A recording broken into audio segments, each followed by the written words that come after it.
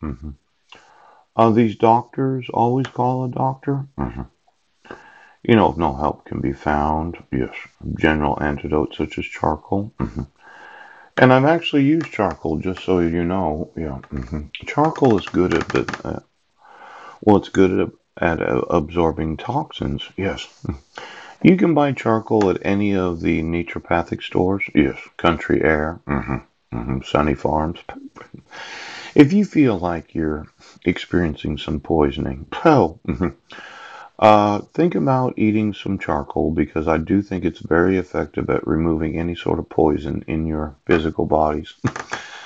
Now, I wanted to remind all the swimming pools that I have a technology called the Win Water Scrubber. Yes.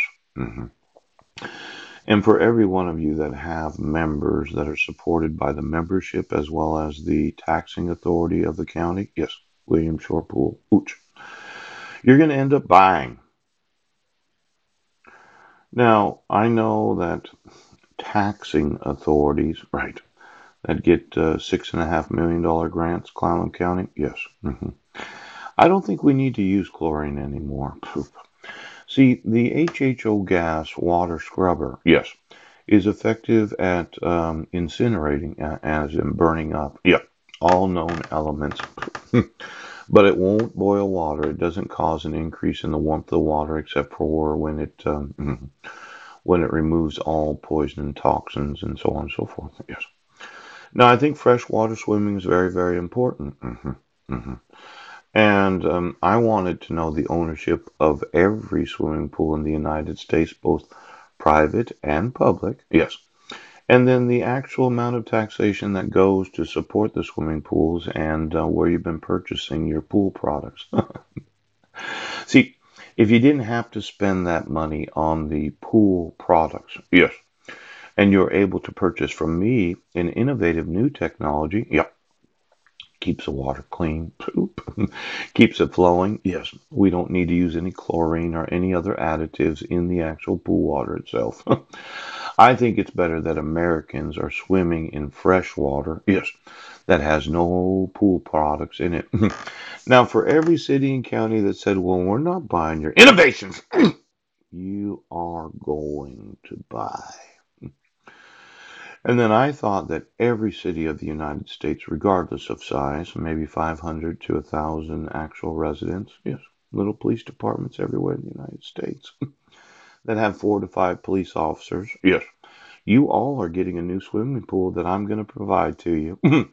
See, the thought is, yes, mm, mm, if the water supply of that individual city were to go through the swimming pool, mhm, and was to be agitated because of the swimming available uh, to the individuals that live there. Yeah. And was to be when scrubbed, yes, through the water purification system that I have. Yeah. The fresh water that the actual residents drink is healthier than water that is not agitated. See, let's say you live in a little town anywhere in the United States of America. you have a small police department. Yes. Yes, give me every police department in the United States of America. and your city doesn't have the availability of, of putting in a swimming pool. They're enclosed swimming pools. Yeah. Um, they're made out of recycled garbage. They're really not much of anything. It's kind of like I put in a large Olympic sized swimming pool made out of recycled garbage. Yes, it's compressed at 2500 degrees, produces electricity through the steam generation process. Pop! And I fill it with water and then I enclose it, yes, in a recycled garbage enclosure so it's available to you uh, 365 days a year. I uh, put the actual water supply through the swimming pool. Yes, it's it's constantly flowing through it. Yes.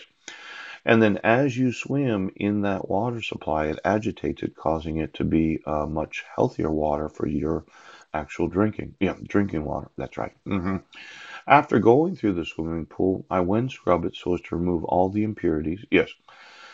And then quite often we decide to put an ozonator in there, causing it to be um, really electrified. So, two part per million colloidal silver. Yes.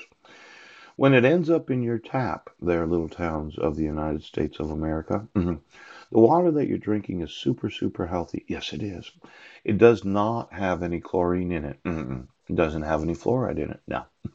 See, if you put it through an Olympic sized swimming pool in every little town of the United States, there's probably like a million gallons in that Olympic sized swimming pool, approximate number. More than enough to uh, provide the drinking water from residents of greater than 500 to maybe 50,000 individuals. Yes. Now, for every police department that says, no, we're not buying this, pooch, you are. because you're going to sell me, yes, no, you're going to pay me, yes, to take your garbage. you're going to pay me mhm, to install a steam generator. Yes, you're going to pay me to install a swimming pool. Yes, and you're going to pay me to make improvements in the fresh water supply of every resident of the United States of America. That is, if you live in a town that has greater than 500 individuals living there. no, I know. You're at home. You're like, the swimming pool's open seven days a week. What do you need? A lifeguard, few employees. How are you going to pay for it? well, the electricity that is manufactured through this whole process, yes, does help support the swimming pool. So there's no out of pocket cost for the actual employees.